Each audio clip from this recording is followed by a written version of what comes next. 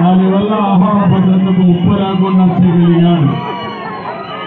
అందరి మారిగా రైతు కూడా బంద్ ప్రకటించుంటే లాక్డౌన్ ప్రకటించుంటే దుర్మార్గుడు వచ్చి ముఖ్యమంత్రి. ముఖ్యమంత్రి వచ్చాడు. వచ్చి ఆలోచించాడు నేను కట్టాను కదా నన్ను